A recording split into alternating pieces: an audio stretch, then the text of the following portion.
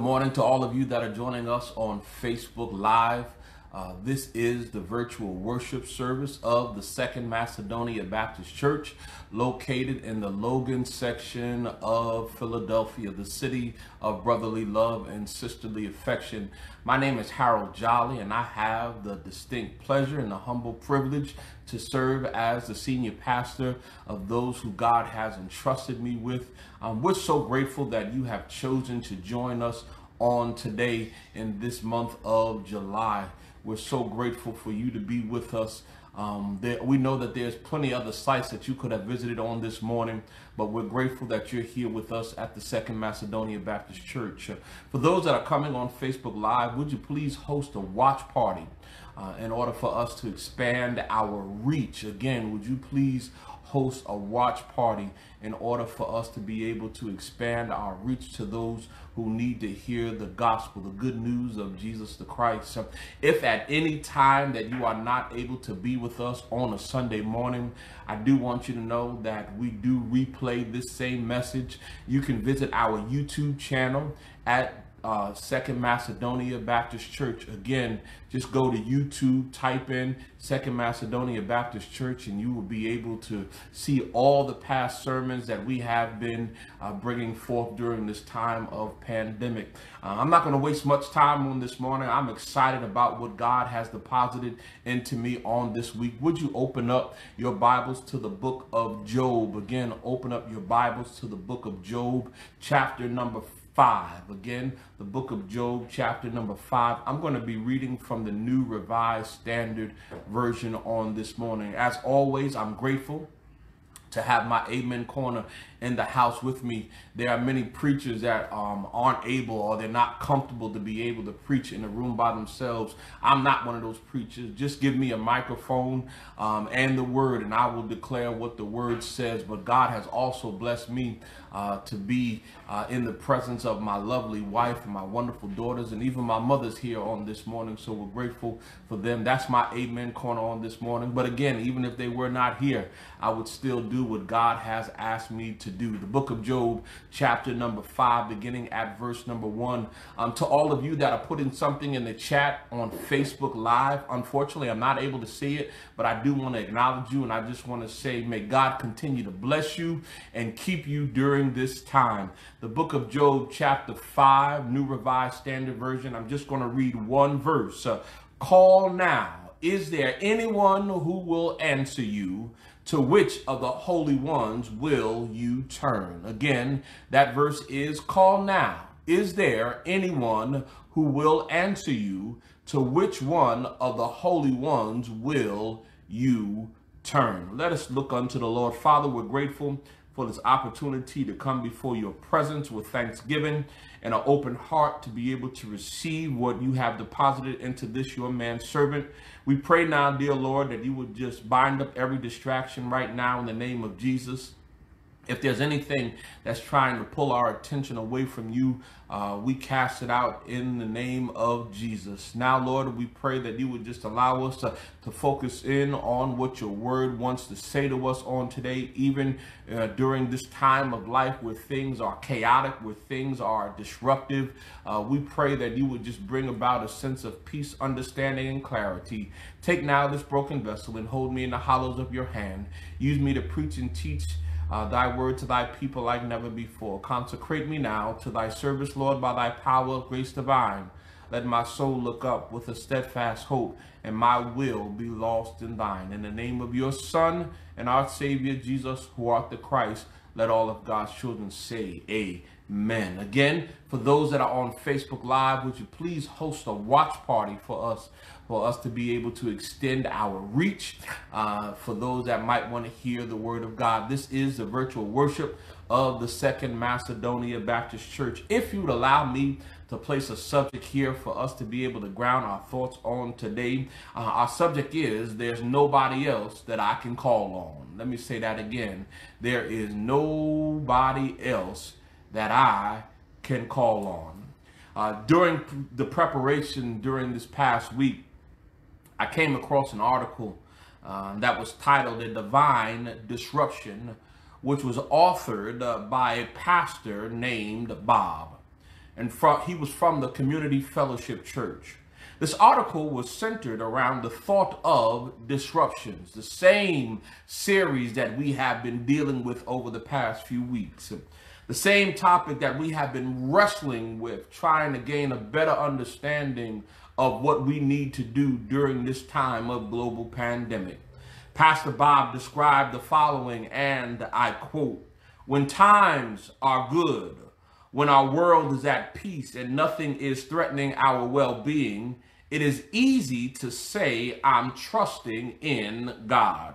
When all our needs are met and God is providing as we think he should, it is easy to say, my hope is in him. But when things aren't going well, when our world isn't at peace and something is threatening our well-being, it can become difficult for us to say, I'm trusting in God and my hope is in him.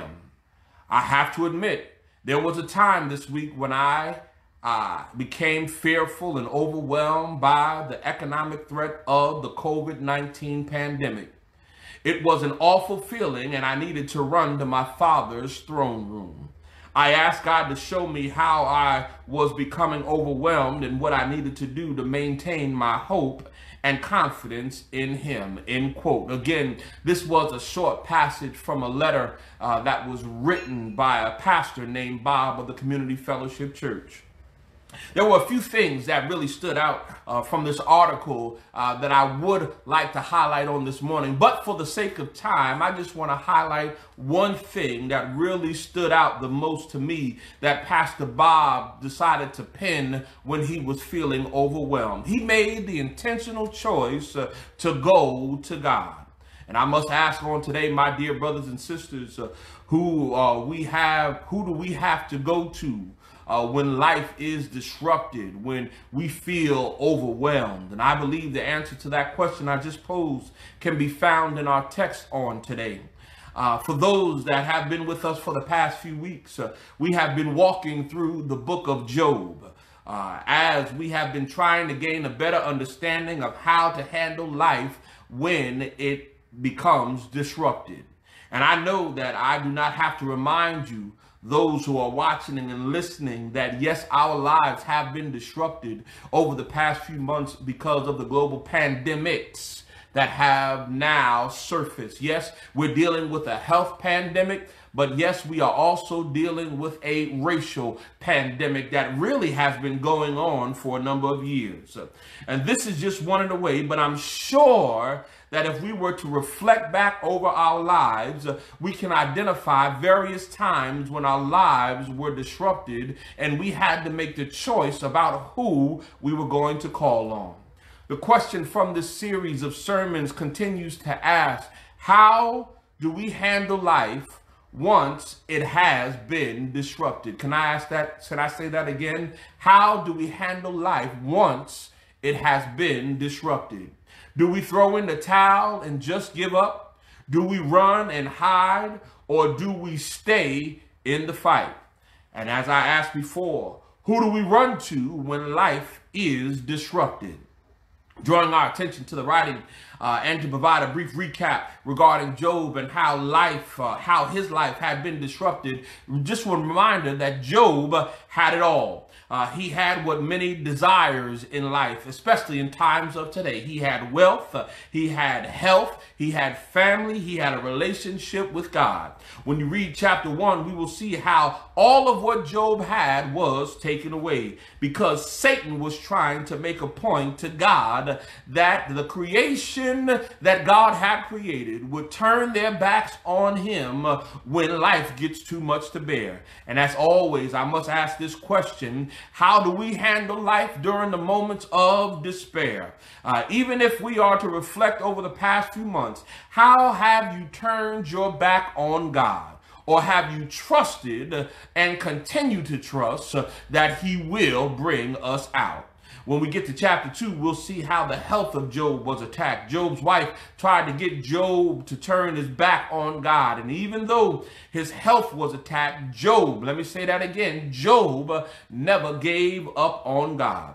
What Job did was curse the day he was born, but he never gave up on God.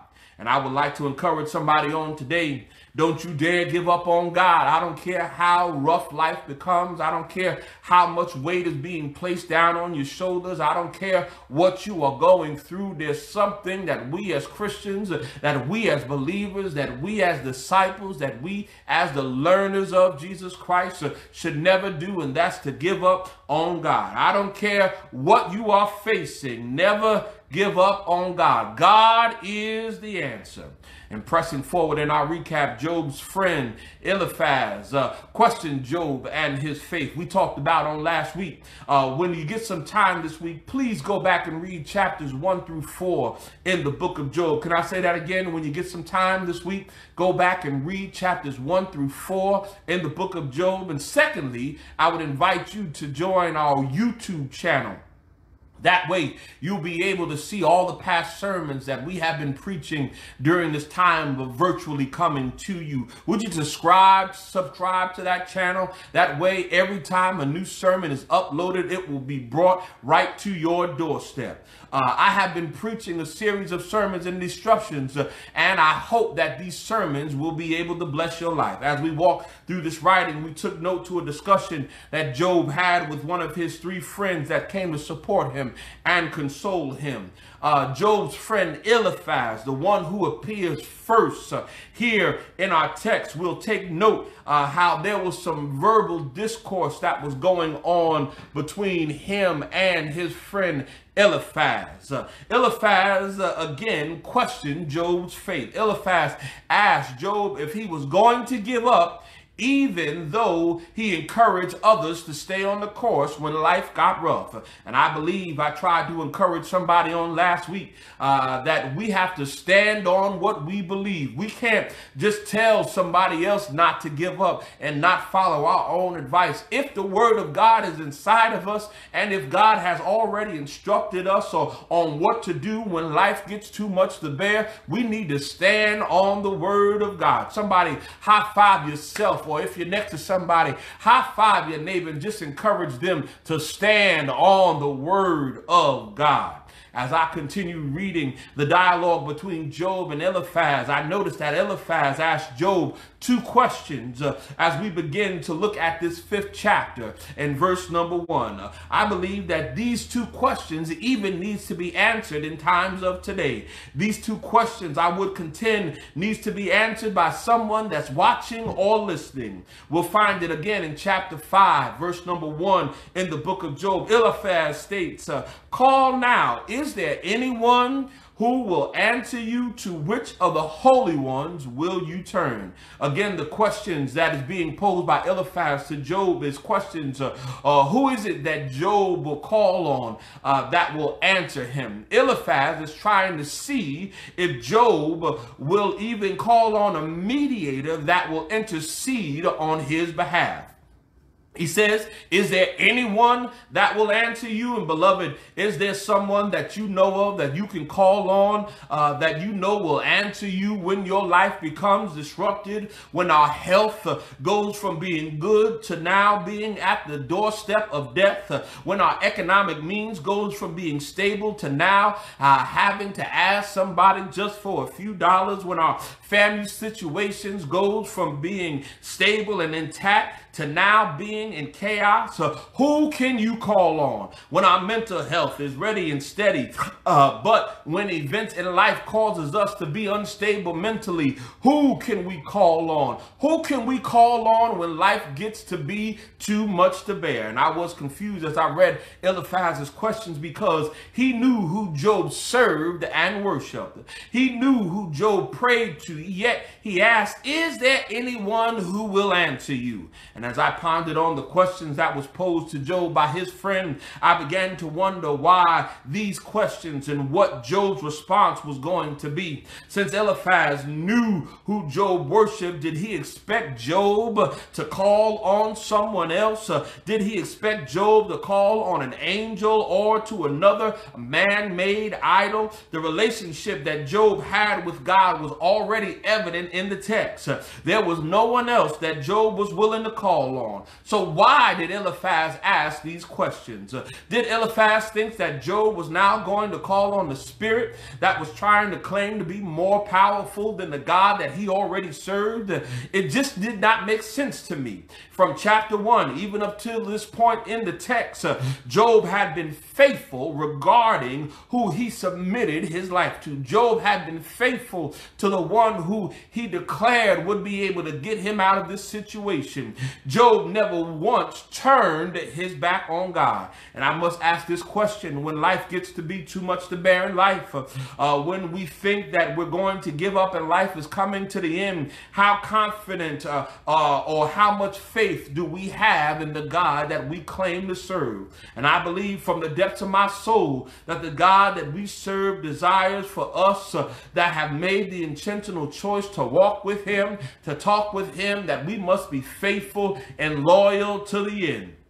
Have you ever tried to convince yourself that God will not show up or do anything in our situation? Or did you keep the faith when life was getting too much to bear? Did you think that God neglected you or did you just wait and mark time and waited for God to show up? Uh, there are times when our minds oftentimes try to convince us otherwise. Uh, can I help somebody on today? No matter how bad a situation may seem to be, trust God to the end Looking back at our text, uh, the more I read the question in chapter number 5, verse number 1, uh, the more I began to wonder if Eliphaz was under the impression that Job did not have anyone to turn to. It seems as if the questions being posed uh, carried a tone of sarcasm.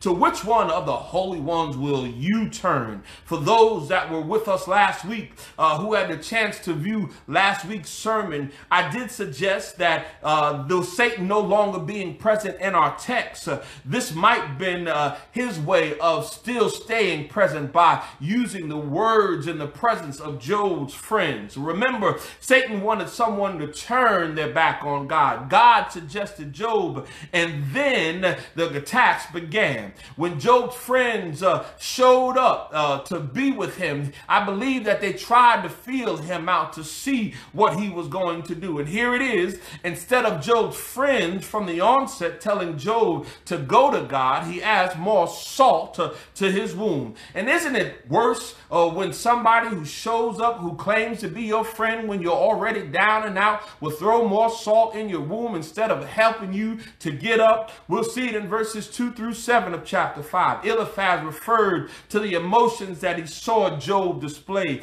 He mentioned or he made mention of how uh, this disruption in life of Job came out of nowhere. He talked about his children being killed. He made mention about how people can just lose everything just as Job did. He spoke about how humans are born into trouble. He alludes to how human nature brings about the trouble that we experience and if I can just pause right here just for a few minutes, yes, uh, our nature, our flesh can lead us into trouble. Can I get a witness on today? It's like him stating that all the trouble that we face in life is all because of us. Uh, uh, what have we done that our flesh has led us into? What has our flesh caused us to do? Has our flesh caused us to offend somebody?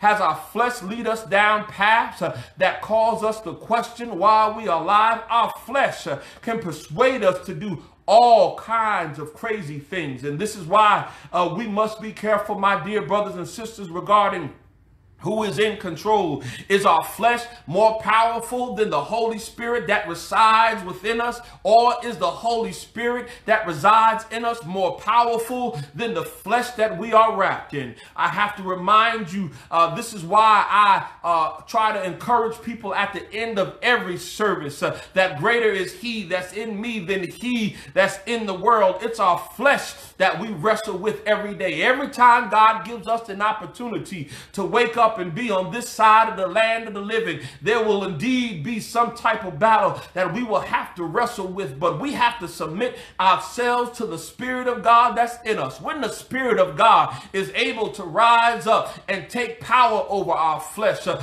God will be able to use us more effectively. God will be able to lead us to where He desires for us to be. Don't ever let your flesh become more powerful than the Spirit of God that's inside of us because that's when we'll get in trouble. We have to remind ourselves uh, that we got someone inside of us that has all power, that has all intentions for us uh, to be great in the sight of God. Even in Romans chapter 8 and verse number 9, it reminds us, uh, but your sinful nature does not control you. The Spirit of God lives in you. Anyone who does not have the Spirit of Christ does not belong to Christ. And this is why it's important to live by the Spirit. When we live by the Spirit, we are availing ourselves to allow the Spirit to lead us to where God desires for us to be. But referencing back to our text, the more I read the words of Eliphaz, uh, I questioned what type of friend he really was. I questioned what type of friend would show up to throw more salt in the womb of someone that was already down. Has anyone who is watching or listening ever found themselves, uh, as I stated before, in the same situation as Job? Somebody who classified themselves as a friend uh, to come into your to, into your life uh, and they uh, tried to hold you down instead of trying to build you back up. When life was already bad enough how someone who called themselves uh, your friend would bring a sense of darkness instead of allowing the light to shine. Uh, they'll bring up everything that we have done. They'll bring up all the things from our past. They'll uh, cast their views on the situations thinking that they're right and they don't know anything about what we're going through all they want to do is talk about the bad stuff and the things that we face in life. And I don't know about you, but I don't need anyone like that. Somebody who called themselves my friend to drag me down and, and lower that I'm already am. And as I continued reading the text, uh, I took note to the shift in the tone and the words of Eliphaz. Uh, it is like he asked two questions in verse number one. Then he went into a rant in verses two through seven. And then in verse number eight, he reveals to Job who he would go to if he was in Job's situation. Eliphaz states, uh, As for me, I would seek God, and to God I would commit my cause. And as I looked at what Eliphaz was saying, I wondered if he noticed something about Job that we were not able to see in the text? Did he sense uh, that Job needed to be reminded of why he should go to God? Was Job doing something that alluded to the point that he felt the need to remind Job who he should go to? Not only does Eliphaz inform Job who he would go to to commit his cause, uh, but he then informs Job why he would commit his cause to God. We'll see it in verses 9 through 17. He told told Job why he would go to God. And if I could pause right here to help somebody on today, I know that the majority of people that are watching and listening on today, I know that you believe in God. But today I felt the need to remind somebody that uh, even though we believe in God, there are times where we still struggle and we still wrestle thinking that God has abandoned us and God has given up to us. But can I remind you that we don't serve that type of God? We serve a God that keeps us in the palm of his hands. We serve a God that wants to draw us closer to him whenever we are going through. We serve a God that wants to pull us out of darkness and let his marvelous light shine. And this is what Eliphaz does in the text. He lists all the things that God can do. And can I just uh, ask somebody who is watching or listening on today, uh, do you know what God is able to do? Does he have a track record of doing something in your life uh, that you can just begin to get happy about and testify about how God has done something in your life uh, that you just can't keep it to yourself. Uh, I believe that there are times where we got to remind ourselves what God is due. Is there anybody out there that can give a testimony about what God has done and what God is able to you to do? Do you know that he's able to bring comfort during the time of chaos? Uh, do you know that he's able to bring healing to the times when we are sick? Do you know that he's able to bring hope to those who are hopeless? Do you know that he's able to deliver those who are oppressed? Do you know that he's able to let his marvelous light shine whenever the clouds of darkness are hovering over our lives? Do you know that he's able to bring joy to those who are depressed? Do you know that he's able to share his love to those who feel unloved? And I believe that Isaiah says it best. Seek the Lord while he can be found. Call on him and he will be near to you. Is there anybody out there that can answer the question for yourself that as we are going through this pandemic, we don't have to ask nobody who we need to go to because we know it for ourselves. We can go to God. All we have to do is call on his name and he promised to answer us and incline his ear to us. Is there anybody out there that can just give God some praise for showing up when you call on him, for being a ever present help in the time of need? Is there anybody out there that can just tell somebody that you don't have to go to any man-made gods? All you have to do is to go to God our Father who is in heaven and he will show up. Don't be confused. Don't be confounded. Know that God is there even when you're going through. And when you think you're able to give up, you don't need any mediators because there's one mediator that suits our case, and his name is Jesus the Christ. And I want to know um, today, is there somebody out there that knows uh, that you can go to Jesus? Is there somebody out there that knows that you can call on Jesus and he will show up? And if there's somebody there that does not know Jesus for themselves, who does not know Jesus for the pardoning of your sins, uh, who does not have Jesus as their own personal mediator, you today can establish your own relationship with him. All you have to do is call on his name. The Bible tells us uh, in the writing of Romans that if we confess with our mouth and believe in our hearts that Jesus Christ died and God raised him up from the dead, the Bible says that you shall be saved. What does that mean? Being saved means that you're being rescued from the disruptive and destructive life that you're going through. And God is now going to place you in a place where he's going to be able to minister to you, to equip you, to build you up, and to lead you now to be a vessel for him. And if there's somebody out there that does not have their own personal relationship with God, I extend this invitation to you, my dear brother. I extend this invitation to you, my dear sister, that if you do not know the Lord yourself for the pardoning of your sins. This is your opportunity. There's a reason why you're here with us virtually. There's a reason why God saw fit to allow you to stay here during our virtual worship. It's so he can get your attention and draw you to be close to him. And if there's somebody out there that knows they need to be in relationship with the Lord, come on, put it in the text on today, put it in the chat on today and say it's me and we'll have somebody reach out to you or you can go to our website www.smbapt.org. Again, that's www.sm, as in Macedonia, bapt.org. You'll find a link where you can fill a digital discipleship card. It'll go to our front office, and then one of our deacons will reach out to you and have a more personal conversation to you. If you're out there, my dear brothers and sisters, uh, I want you to know that you don't have to be in this journey by yourself. As your life is being disrupted, there's someone that you can call on. But in a relationship, you got to be all in, just like God is all in. So here's your opportunity. Come to Jesus just as you are.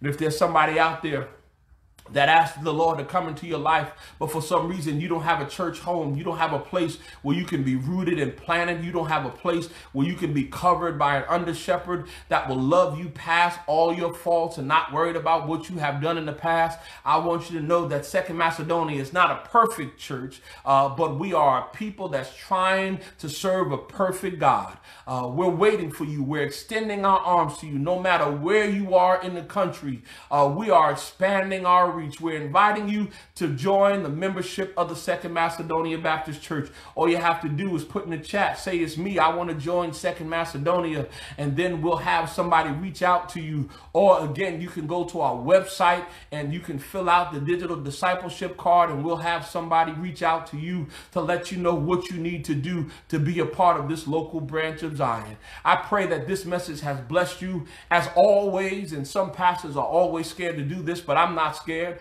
I want to encourage you not to miss out on your blessings. God instructs us uh, to bring our tithes and offerings into the storehouse. And even though we're not able to be in the physical building of the Second Macedonia Baptist Church at 1301 West Ruscomb Street, you can still give. All you have to do is go to our website and we have a secure link where you're able to give. All you have to do is input some information and it will uh, it will instruct you on how to give to the Second Macedonia Baptist Church.